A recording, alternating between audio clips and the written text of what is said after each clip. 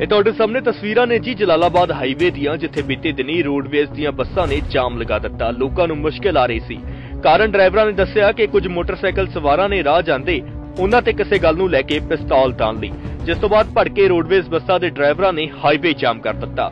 ਪਰ ਇੱਥੇ ਜਨਾਬ ਹੈਰਾਨੀ ਦੀ ਗੱਲ ਤਾਂ ਇਹ ਦੇਖਣ ਨੂੰ ਮਿਲੀ ਕਿ ਇਸ ਤੋਂ ਪਹਿਲਾਂ ਇੱਥੇ ਪੁਲਿਸ ਪਹੁੰਚਦੀ ਖਬਰ ਮਿਲਣ ਤੇ ਪੁਲਿਸ ਤੋਂ ਪਹਿਲਾਂ ਐਮਐਲਏ ਰਵਿੰਦਰ ਆਵਲਾ ਪਹੁੰਚ ਗਏ।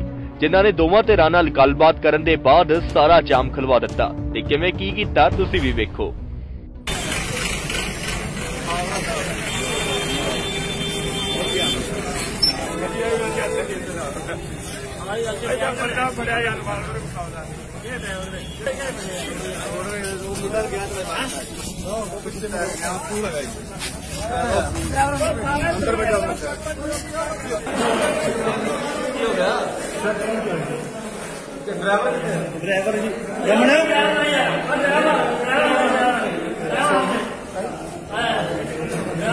ਭਾਈ, ਇਸ ਤਰ੍ਹਾਂ ਇੱਕ ਗੱਡੀ ਆਉਂਦੀ ਪਈ ਉਧਰੋਂ। ਉਧਰੋਂ ਅੱਗੇ ਇੱਕ ਟਰਾਲਾ।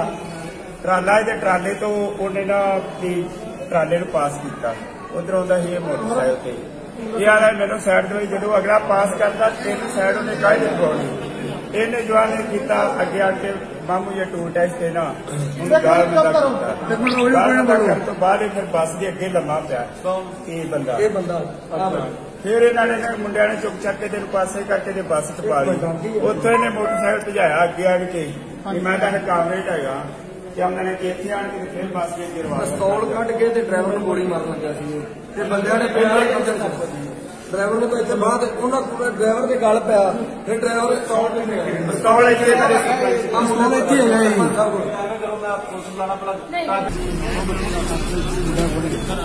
ਹਾਂ ਇਹਨੂੰ ਦੇ ਦਿਓ।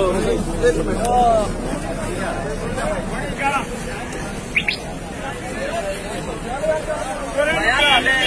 ਤੇਰੇ ਕੋਲ ਕੀ ਹੋਇਆ ਯਾਰ? ਉਹਨਾਂ ਸਾਈਡ ਤੇ ਕਰ ਦੇ ਸਵਾਰੀਆਂ ਤੇ ਨਾ ਇਹ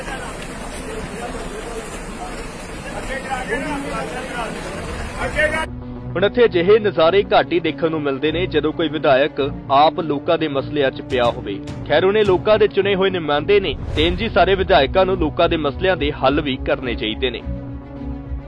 Bureau report, daily post, Punjabi.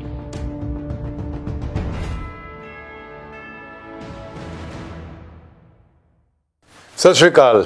ਜੇ ਤੁਸੀਂ ਕੈਨੇਡਾ ਸਟੂਡੈਂਟ ਵੀਜ਼ੇ ਤੇ ਜਾਣਾ ਚਾਹੁੰਦੇ ਹੋ, ਪਰ ਆਇਲਸ ਵਿੱਚ ਓਵਰਆਲ ਤਾਂ 6 ਆ ਗਏ, ਇੱਕ ਵਿੱਚ 5.5 ਬੈਂਡ ਕਰਕੇ ਡਰਦੇ ਹੋ, ਜਾਂ ਕੈਨੇਡਾ ਦਾ ਸਟੂਡੈਂਟ ਵੀਜ਼ਾ ਰਿਫਿਊਜ਼ ਕਰਵਾ ਬੈਠੇ ਹੋ, ਜਾਂ ਸਟੱਡੀ ਗੈਪ ਜ਼ਿਆਦਾ ਹੋਣ ਕਰਕੇ ਸੋਚਦੇ ਹੋ ਕਿ ਕਿਤੇ ਰਿਫਿਊਜ਼ਲ ਨਾ ਆ ਜਾਵੇ, ਤੇ ਅੱਜ ਹੀ ਪਿਰਾਮਿਡ ਈ ਸਰਵਿਸਿਜ਼ ਨੂੰ ਮਿਲੋ ਔਰ ਕੈਨੇਡਾ ਜਾਣ ਦੇ ਆਪਣੇ ਸੁਪਨੇ ਨੂੰ ਸਾਕਾਰ ਕਰੋ।